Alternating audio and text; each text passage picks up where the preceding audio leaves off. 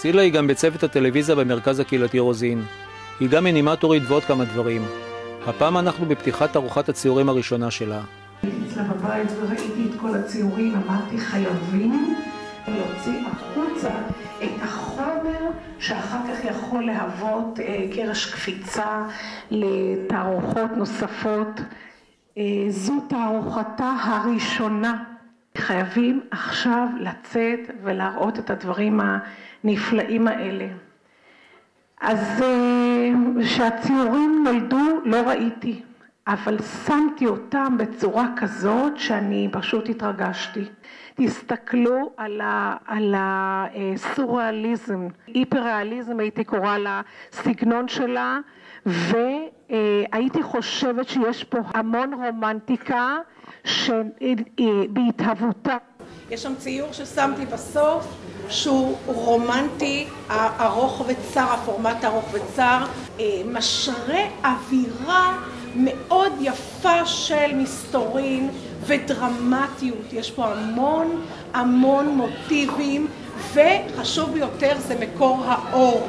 אני מאחלת לה הצלחה מלאה, אני מקווה שהיא תתחיל להגיע לגלריות בארץ ובחו"ל ואני שמחה מאוד שהצגנו את זה פה.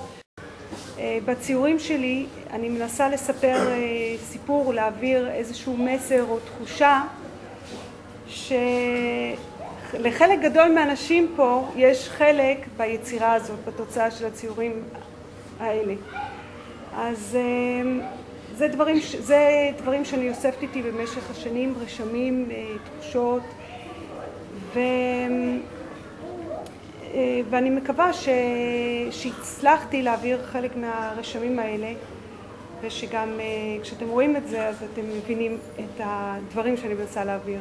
זהו בכמה מילים. תודה למשפחה האהובה שלי ולכל החברים ולכבוד הוא לי שבאתם. תודה.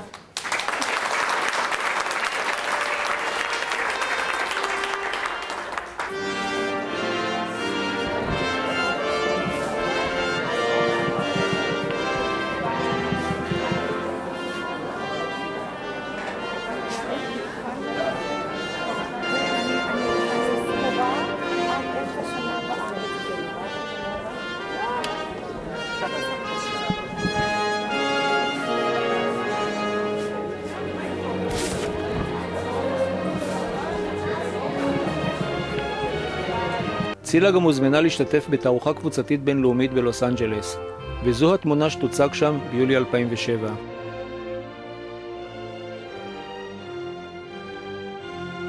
אני רק מאחלת ליוצרים כמו צילה, שיהיה להם את האומץ לבוא ולתת חשיפה לדברים הנפלאים שבתוכם דרך אומנויות, דרך ציור או דרך אומנויות אחרות. אני גם רוצה שבאיזשהו מקום שיירשם שהתערוכה הראשונה של צילה הייתה כאן במרכז רוזין